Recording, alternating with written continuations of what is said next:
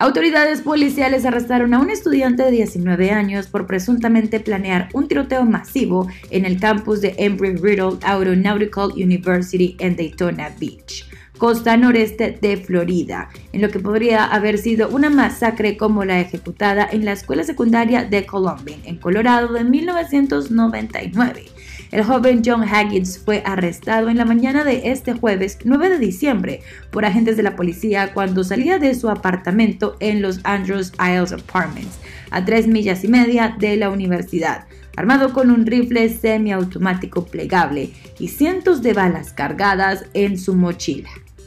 En horas de la tarde del mismo jueves se presentaron tres cargos a Jones Hackins por los delitos de terrorismo, amenazas escritas de herir o matar e intento de homicidio en primer grado, dijo el jefe policial Jackery Young. El estudiante a quien arrestaron permanecerá encarcelado sin derecho a fianza hasta su primer comparecencia este jueves.